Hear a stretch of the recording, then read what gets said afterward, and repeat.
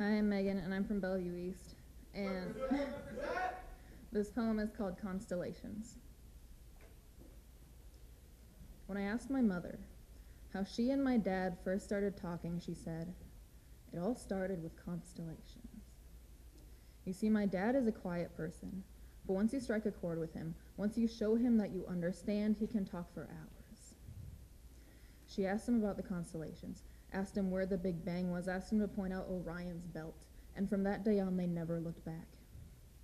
They were bonded together by seemingly useless information, but it was the stars that brought them together, and if that doesn't sound like fate, I don't know what does. I asked her, when was the first time she told him she loved him? She said she whispered it in French, Je t'aime, because she was too afraid to say it out loud.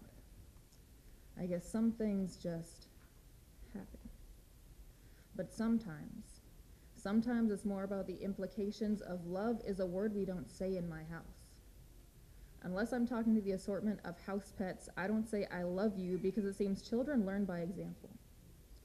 My parents don't say it because they're afraid I will use it against them. But every time my mother says, Are you sure you don't need another jacket? When my father pretends to listen when I'm talking to him, the I love you is implied.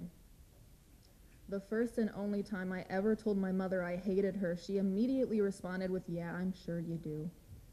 But I'm not going to pretend I didn't hear her crying later. I'm not going to pretend I didn't cry too. And it frustrates me that I can tell my mother I hate her, but I'm not brave enough to say I love you, and the honest truth is I wish I was.